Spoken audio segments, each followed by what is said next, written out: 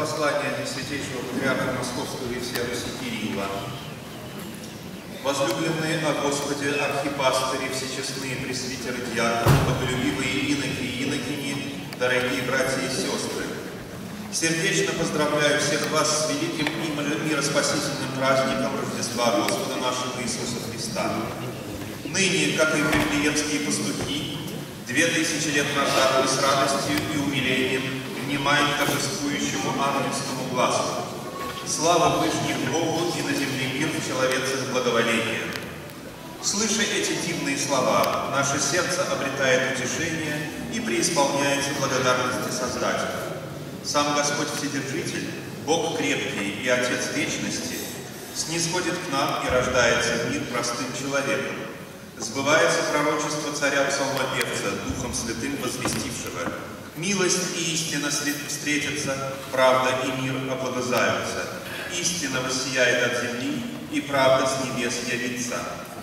И вот свершилось, младенец родился нам, сын дан нам, дабы всякий верующий в него не погиб, но имел жизнь вечную. На протяжении истории человечество напряженно искало Бога, тоскуя по утраченному общению со своим Создателем. И в ответ на эти усилия, в ответ на устремленные к небу сердца и руки, Господь явил свою любовь к роду человеческому и сам простер нам свою спасительную руку. В Иисусе Христе после долгих тысячелетий встретились, наконец, Бог и человек, и соединилось небесное и земное, и исполнились духовные чаяния сынов и дочерей Адама.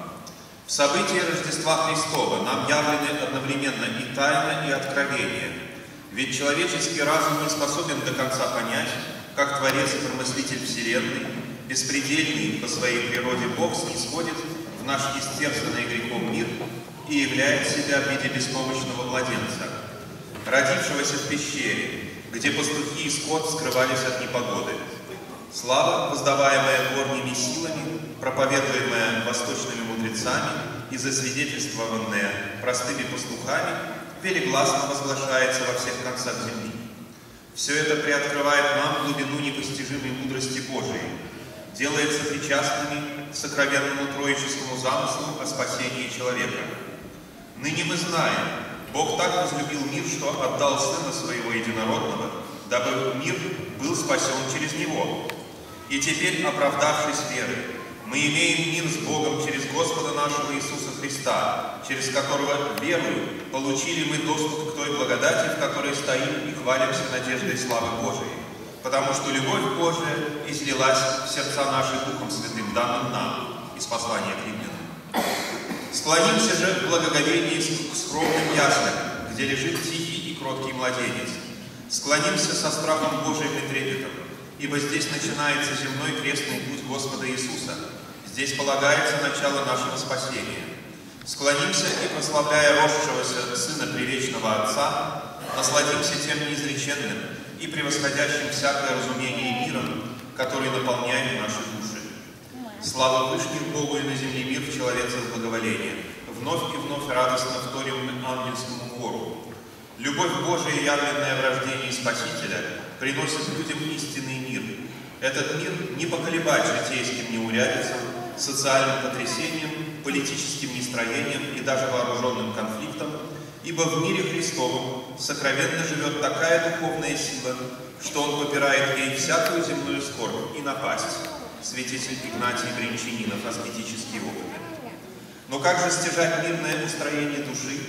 Как стать обладателем всего великого духовного дара? Святые отцы в этом единомысленны. Действие мира Христова в человеке есть важный признак пребывания его в евангельских заповедях.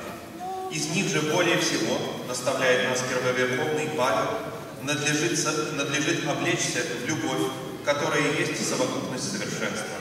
И тогда, по слову апостола, в сердцах наших станет владычествовать мир Божий, к которому мы и призваны из послания к Колоссянам. Людей благоволение ищет себе Господь, тех, кто последует Его закону, кто будет свидетельствовать ближним и дальним о спасении и возвещать совершенство призвавшего нас из тьмы в чудный свой свет. Первое послание Петра. Будем же достойны этого высокого призвания. И потому преславное Рождество Христово видевшее, в вертепе совершаемое, устранимся сует пачи мира, когда восьмой акафиста Рождеству Христову. Вознесемся мысленно на небо, прославив Творца всяческих, поделимся нашей радостью о воплотившемся Спасителе с окружающими, с теми, кто нуждается в заботе, кто унывает или находится в стесненных обстоятельствах.